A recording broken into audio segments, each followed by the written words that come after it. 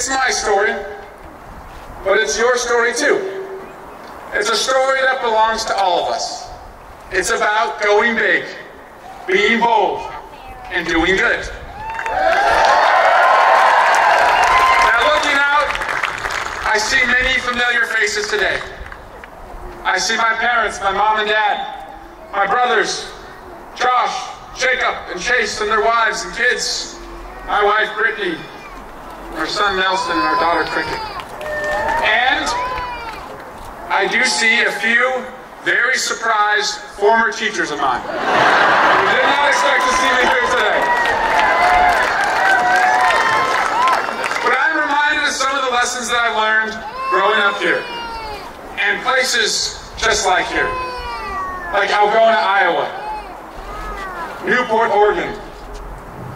And Pittsburg, California. Pittsburg, California is where I had my first job. A paper route at the age nine. Now you can learn a lot about America riding your bicycle through towns like that at six in the morning. On my route, I saw big houses and I saw small ones. I saw houses with two new cars and I saw houses with none. And I saw houses being built and houses with signs out front bearing a word that I didn't quite yet understand foreclosure. I saw people coming home from the midnight shift just as I was starting my workday. And those were often the homes that I pedaled my little bicycle past that couldn't afford to receive the newspaper at all. But on their faces, I saw a lot of pride. And I saw a lot of despair too. These folks were not quitting. They would never quit. They didn't know how to quit. But they were beginning to wonder what had happened to the promise of the American dream. Traveling our country for the last few months, going to town halls and coffee shops, school assemblies and college campuses and fish fries, I've been seeing the exact same thing. Which is why I've come back here to Dublin, backed by my neighbors who have always been in my corner to declare my candidacy for President of the United States. And I need you. I need you. I need you. I need you. Boy, do I ever need you. And we need each other. Only in a country as generous as ours could a moment like this even be possible. I was born in Sac City, Iowa. My dad was a cop. My mom, she sold wedding cakes and handmade dollhouses out of our garage. And we had a very large but probably unlicensed daycare facility right there in the living room. They worked hard and they dreamed big in search of better jobs and better schools. They moved us all over. They moved me and my three younger brothers around a lot. Before I was 12, we had lived in three states in eight different cities. I hated moving that much.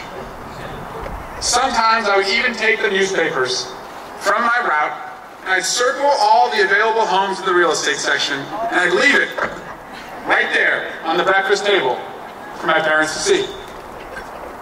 But they never got the hint. By the time I had hit ninth grade, I'd already gone to nine different schools. But I came to realize they were not punishing me by moving us around so much. Although anyone here today who knew me as a kid knows there were really good reasons at that time to punish me. They were just chasing those better schools, those better jobs, and a better future for me and my little brothers. And I learned a lot along the way about hard work. After leaving the journalism business, that paper route, I was a babysitter. I was an assistant to a wedding DJ, a construction worker, a soccer referee, and a baseball umpire. Then I turned 16. After that, I was a window frame sander, and I folded sweaters at Aeropostale at the Stoneridge Mall. I was, I was just as bad folding clothes there as I was at home. So that job did not last too long. Doing all of these jobs, meeting all of those people, I saw a ton of struggle and I saw a lot of sacrifice. I saw firsthand how powerful, but yet elusive, the American dream could feel. Our pursuit of it finally landed us here, in Dublin. To be fair, where we lived was not Mar-a-Lago. And in fact, some of you may remember that people in the neighboring cities had a nickname for us. They called us Scrublin. But we lived right smack in the middle of the middle class. And those were those were during the good times. And I found people who were just like my parents. They were made of grit, steel, and determination. You see, Dublin represented for me the end of our nomadic search for prosperity. We put our roots down right here in Dublin. Dublin became my home. My parents' dreams for me and the result of all that moving and sacrificing were realized when I earned a soccer scholarship to a college back in the South, making me the first person in my family to ever go on to college. And I know so many of you And that was a privilege and a responsibility that I carried every single day. During college, I interned on Capitol Hill. In the morning, I worked my way through serving gym towels to members of Congress at the local gym, and burritos at night at a Mexican restaurant. So every morning at 6 in the morning, towels to the members of Congress at night, memorizing their faces so I could get better tips, and serving them burritos. And after law school, I was at a crossroads.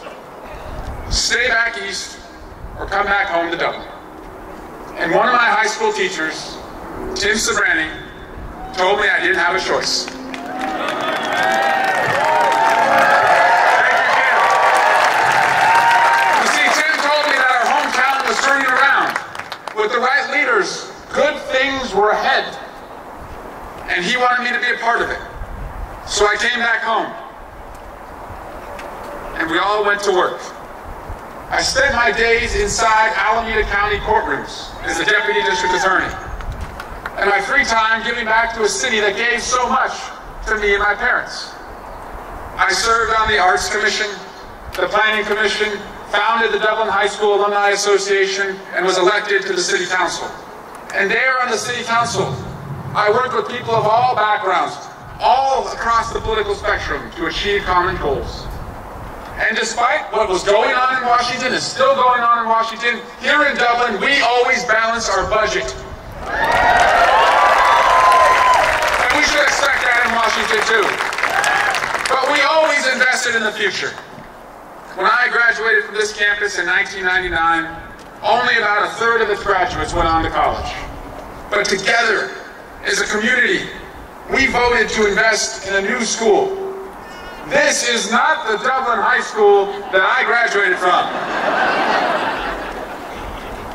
Today, 20 years later, after I left this place, 98% of the graduates will go on to college.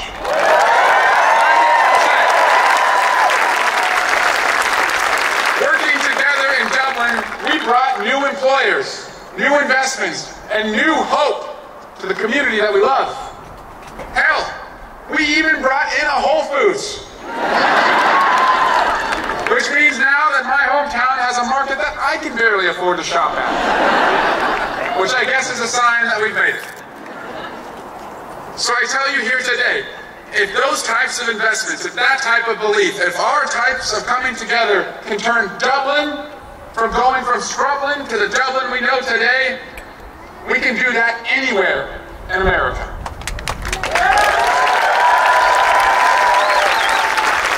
Now I know that the mountain that I face is steep. You may have heard there are a few other Democrats interested in the job. Most of them have more name recognition right now than I do, at least outside the city. That probably should discourage me. It may discourage you. It doesn't. I've got you, we've got each other, and we can do this.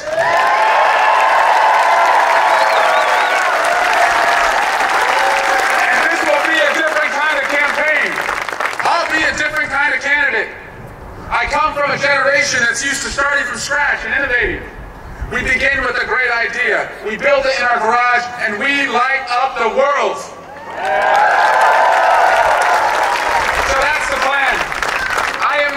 Wealthy and I don't take my friends by how much money they can put in my pockets. I'm not beholden. This is not a campaign that will be beholden to special interests. We will accept no corporate PAC money and we're not going to be driven by the polls.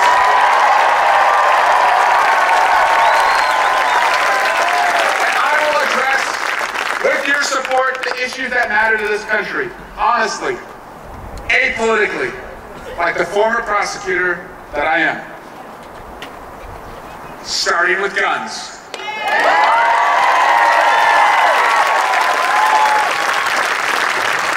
Representing you as a prosecutor in our courtrooms, I learned a lot about law and order and mercy and the futility of trying to keep criminals from recidivism without providing them some kind of job training and addiction treatment.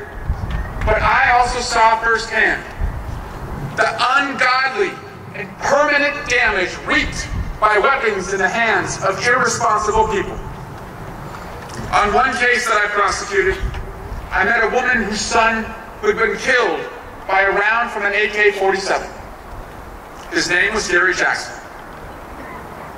A gunman fired 40 times at Gary. Hit him just once in the back of his thigh.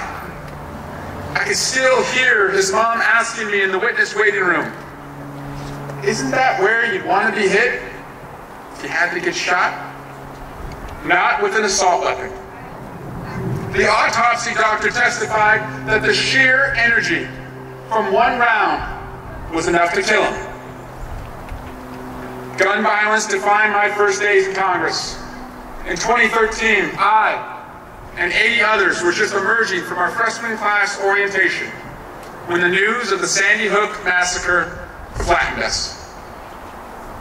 Just like you, I was horrified. I was horrified by the suffering and the loss. The beautiful babies who were taken and had their futures stolen from them in the communities. But I also thought, I am so glad to be here at the Capitol, to be a part of the first Congress to actually do something about these senseless slaughters.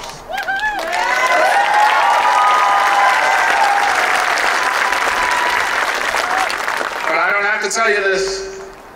Congress did nothing. Just as we did nothing after Charleston, nothing after San Bernardino, Pulse, Vegas, nothing, nothing, nothing. Moments of silence when all our country needed were moments of action. So when Parkland happened and they joined the far too long list of American towns and cities devastated by a madman with unrestricted weaponry, I expected the same ritual to unfold. Shock, anger, accusations, and nothing happening in Washington. Thoughts and prayers used as an alibi for inaction. But the students there and their families decided not to allow that. You decided not to allow that. They instead took a stand to lead, and they knew they would be attacked for it.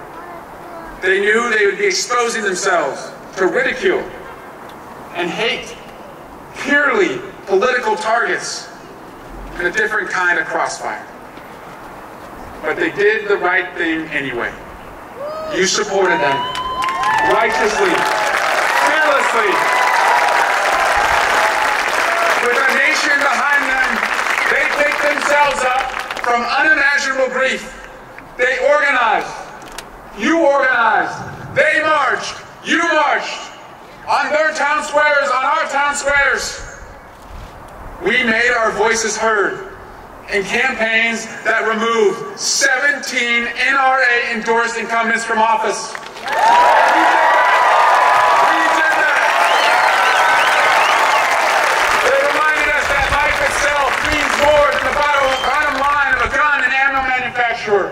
the cynical politicians they support and control.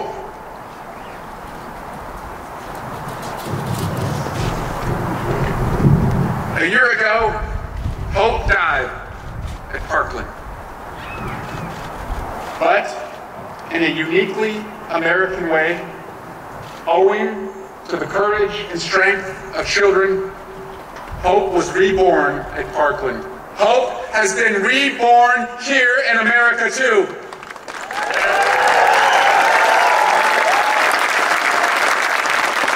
That's why I started my campaign at Parkland. I pledge to that community what I pledge to you.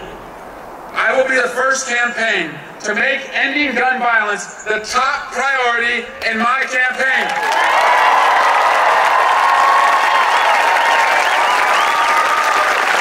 And I thank the Moms Demand Action leaders who are here who will help us do that. And the students who are here with them. My wife Brittany two children. Nelson's almost two years old. Cricket, she's about five months. My wife, she has a job that she loves and she excels at. It would be easy for us to wait for a better time to do this. It'd be easy to wait for a better time to take on this fight. But Brittany wants me to run, to win, to make a difference. Because, like me, she wants to make sure that Nelson and Cricket can go to school, come back home again and again in safety and in peace.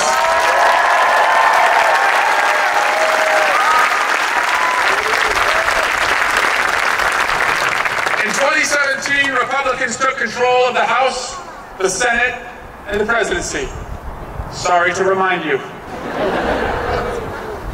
The very first piece of legislation that they passed, the act that would tell the world these are the values we espouse above all others, was a bill that made it easier for the mentally ill to purchase guns. Yes, yes, that happened. They called it House Joint Resolution 40. But I know what you know. You're here for the same reason I'm here. We're in this together because we believe that every child has a right to learn without fear. That every parent, that's right, every parent has a right to hug their beautiful little babies when they come home from school. And that all of us, we have a right to dance at a concert, laugh at the free, at the theater, pray at a synagogue, at a church, and at a mosque. Our rights to live and to love each other. Those rights are greater than any other right in the Constitution, period.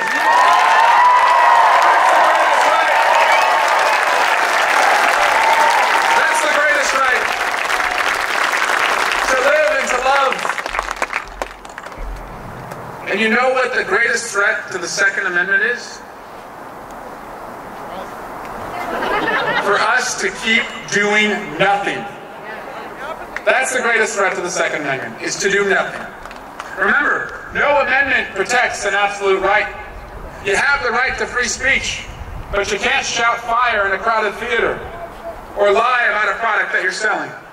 And although there is a right to bear arms, you cannot own a tank or a bazooka or a machine gun.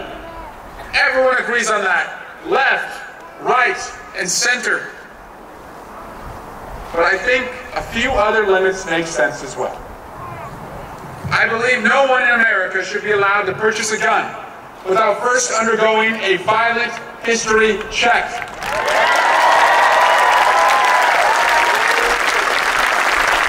So do 92% of Americans. 73% of all NRA members do too. Because female victims of domestic violence are five times more likely to die if a gun's present, in Congress I authored the No Guns for Abusers Act. It would let us do more to get guns out of the dangerous hands of domestic abusers.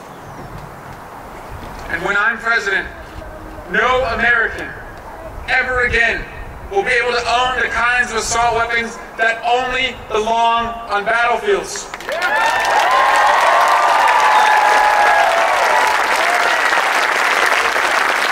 I'm the only candidate, the only candidate proposing that we ban and buy back every single assault weapon in America.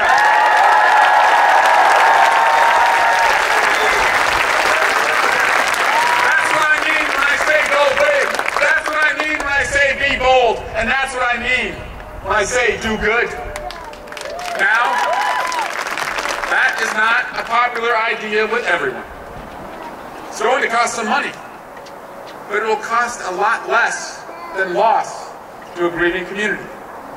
And no matter who attacks me or threatens me for proposing it, I'm not going to back down. And you got my back.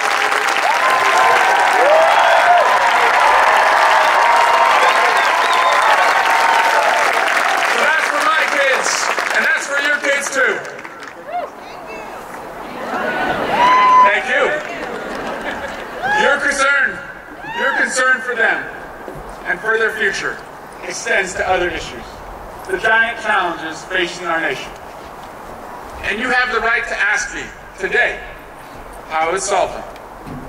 On a paper route, from a courthouse in Oakland, out on the tour with Congressman Gallego, with our future foreign colleagues, I have seen that the promise of America is not reaching all Americans.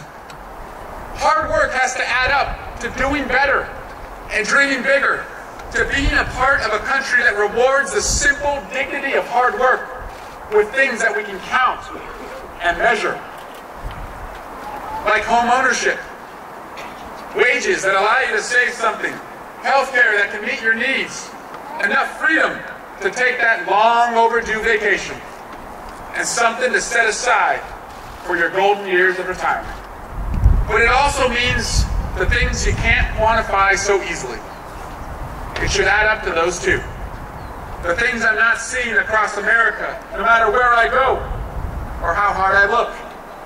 Peace, stability, security, comfort, joy, and the pride that comes from knowing that you provided all of that. That promise is broken for too many of us today. Now you hear the president will tell you the economy is roaring, and you should be grateful for that. They'll tell you that the stock market is at an all-time high, and the GDP is growing. Heck, that may be the only time he's ever told two truths in a row.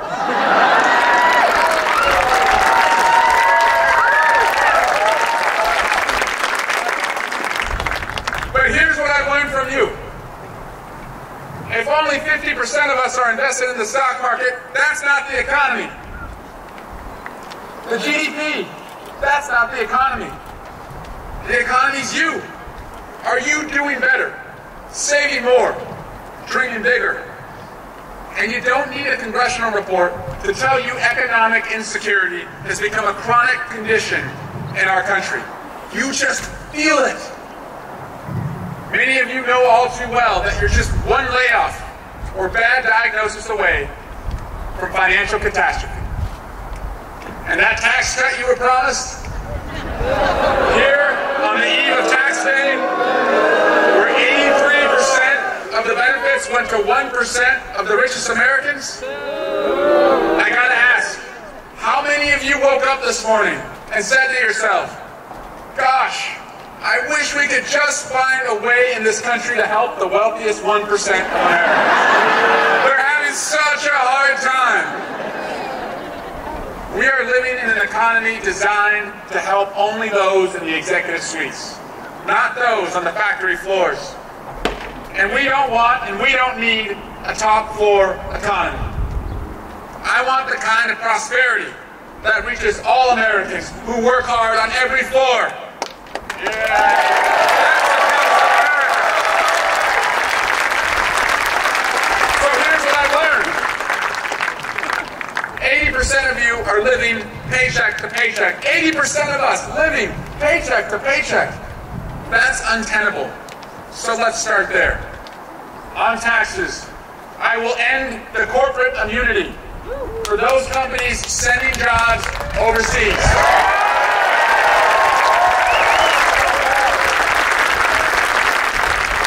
But I want every business in America to know I will offer you this deal. I will give you a lower tax rate than the Republicans if you share your profits with your employees.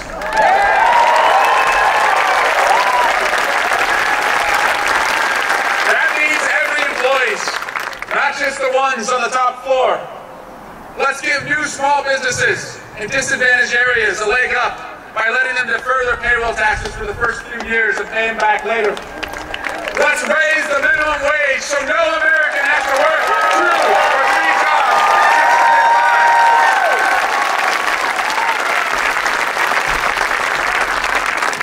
And it's time that we once and for all address your family's health care and the high costs of prescription drugs.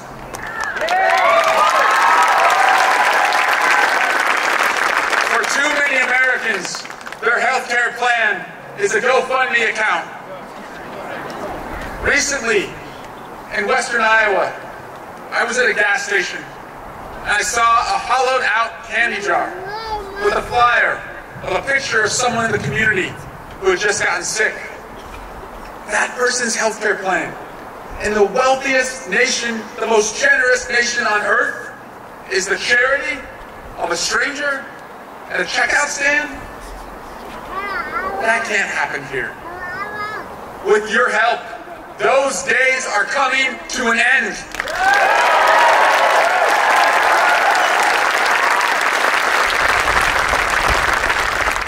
I will put forward and sign into law a coverage for all plan, a public option that forces down prices for everyone, so that Americans have a health care guarantee.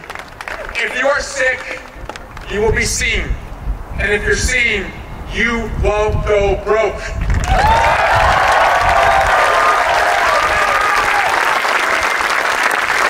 But let's not stop there. Let's not make this debate only about coverage. In the spirit of going big, being bold, and doing good, let's not miss an opportunity to do what we do best as Americans. We find the unfindable, we solve the unsolvable, and together we will cure the incurable. Yeah. Stop doing that in America.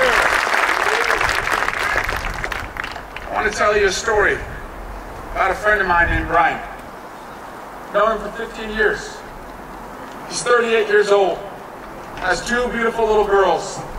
He was a former prosecutor. Last year he called me and told me he'd been diagnosed with ALS. Brian could ask anything of me. I'm his friend in Congress. Instead, on his own, he started a foundation to help reimagine his fight against ALS.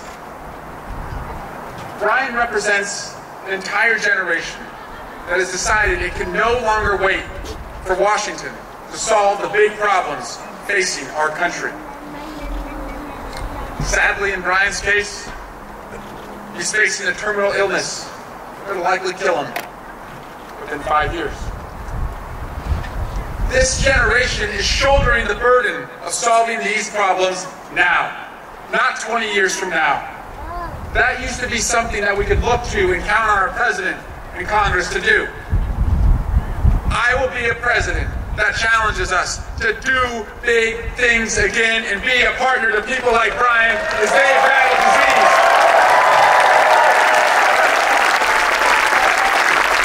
I will challenge us to invest, seek, and find cures in our lifetime. An initiative to publicly invest in genomics, targeted therapies, and data sharing will drive down the cost of care, extend the quality of life, and put a new generation of scientists to work in the life sciences.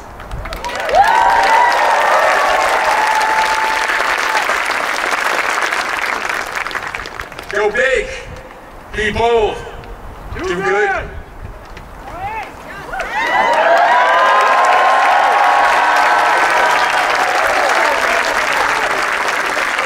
There are a lot of teachers here today. Thank you to our teachers.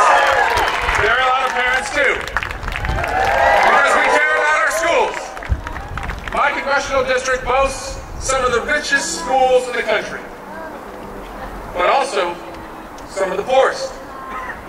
As president, we will build modern schools in every community and renovate those that are crumbling. No longer, no longer in America should a child's destiny depend on his or her zip code. And it's time that we start valuing the teachers who prepare our kids.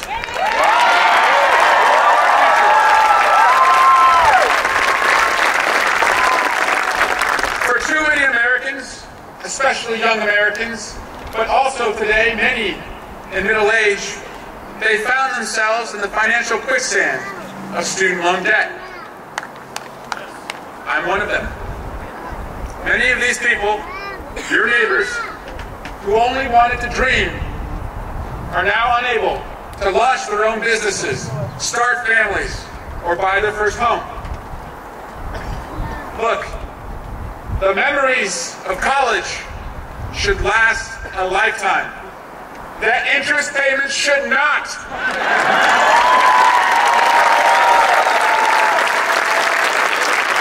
So here's what we're going to do. The federal government should not be making money off college students. We must have zero interest federal student loans. More money in more pockets to realize more dreams.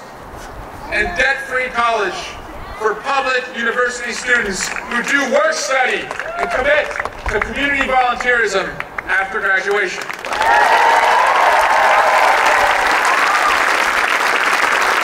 When our systems for health and education fail, everything else fails. Let's fix them. Go big. Be bold. Do good.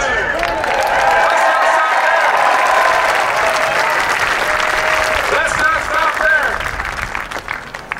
Let's write laws to protect unions instead of tearing them apart.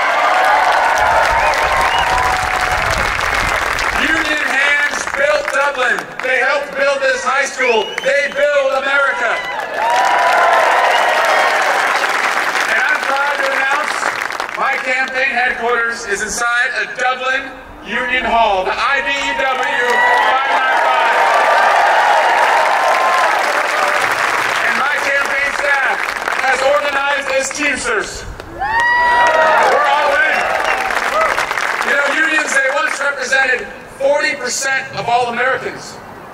Today, it's just 7%. And as they have vanished, the middle class dream of America has become more and more elusive. These things are connected.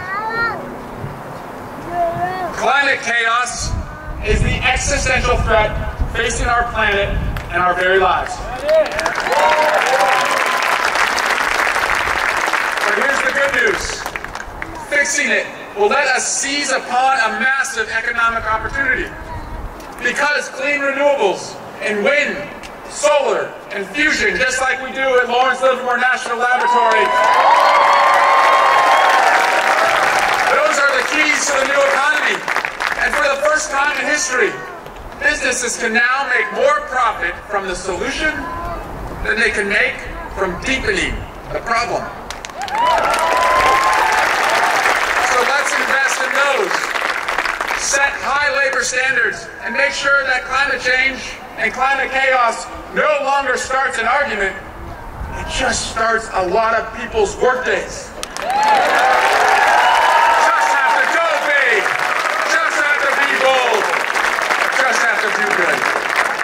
We can win real and meaningful victories on all those fronts right now. We can address immigration reform, not with showmanship, but with leadership, with technology, not a wall.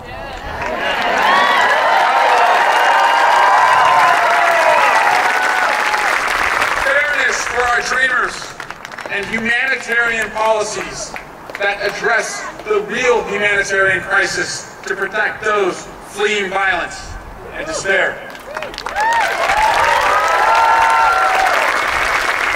Traveling our country, I have seen firsthand how frustrated people are with Washington and its broken politics. All we're asking is for a Washington that works in a bipartisan way and gets things done. You want innovation. Instead, you see a Washington beset by smackdowns, put downs, and shutdowns. It's a government that just careens, crisis to crisis. Nothing gets done. But to fix this, to empower your voices, to restore a more collaborative Washington, we must scrub it of its dirty maps and dirty money.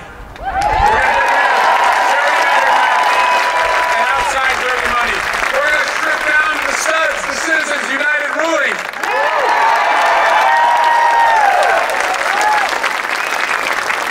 But our safety is careening now too.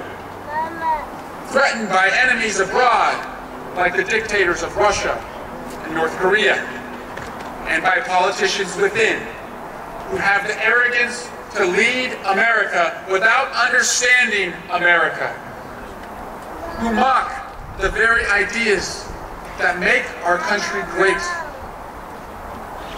Equal justice for all, the independence of our institutions, freedom of the press, and the proposition that all of us, even presidents, especially presidents, are not above the law.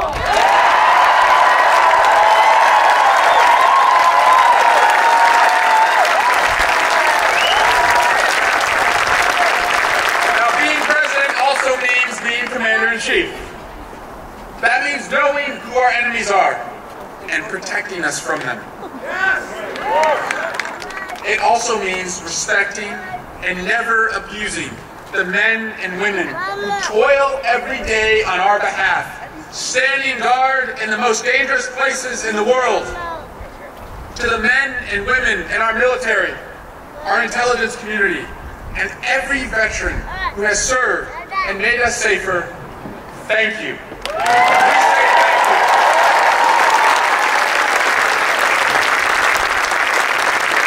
As your commander-in-chief, I will always honor your service and give you the resources you need to defend our country. On the Intelligence Committee, I've helped defend our democracy as it's been on the ropes these last few years. Got the scars to prove it. I've been in hundreds of classified briefings. I've traveled to Iraq, Afghanistan, the DMZ line between South and North Korea. I know who our friends are in the world. And I know the cost of not having friends. Namely, it forces all of us to spend our hard-earned money on military and less money on things we really need, like schools and healthcare.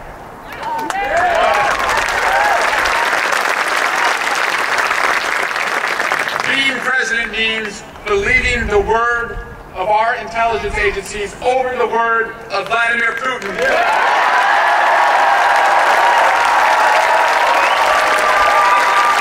It means standing up to a Saudi prince that authorized the murder of a U.S. resident. It means calling out a ruthless North Korean dictator who has tortured and killed an American student and not being his best pal.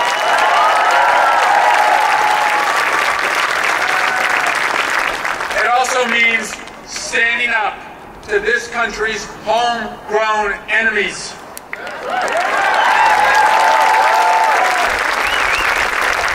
That means denouncing white nationalists, even.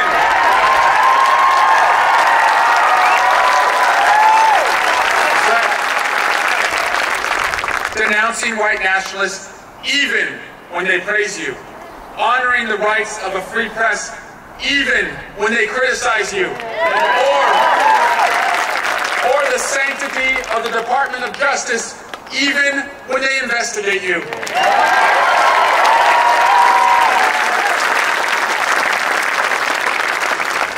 Hugging a flag?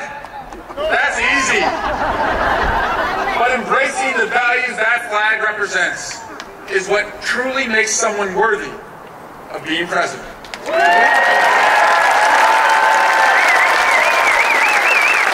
how do we fix all of this?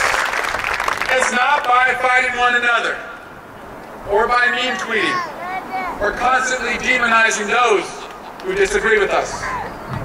We'll fix it the hard way by coming together. Yeah. Yeah. By coming together. Like we are here right now. I'm the son of two Republicans. I married a Hoosier from southern Indiana who grew up in Pence country.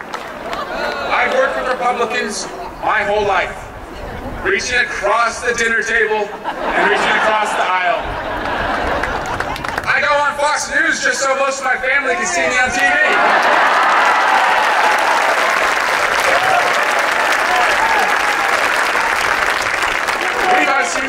Our deeply divided country. So I pledge to lead our country with a team of rivals, a blended cabinet of Republicans and Democrats. Not because it'll be easy, and we may have to send out a search party to find more Republicans who can put country over party. But they're out there. I'll work with them, and I'll challenge them to make our democracy work for all of you, not just the well-off and the well-connected.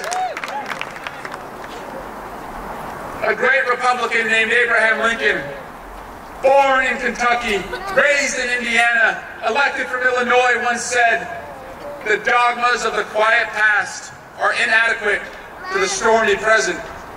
As our case is new, so we must think anew and act anew.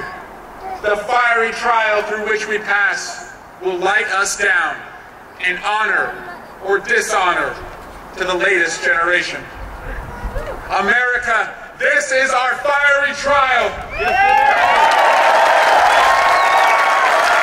I am asking you for the honor of leading us through it. As someone who's benefited so profoundly from the promise of America, as someone who owes this country, this city, everything, I'm, I'm asking you to help me create a country that fulfills that promise for all Americans. No matter who you are, what you look like, where you worship, or where you're from, including every little girl who rode her bike this morning, freezing her little face off to deliver the big Sunday paper and gaze at the biggest house on the block and believe that this is a country where her hard work could add up to living in that house one day. That's the promise of America.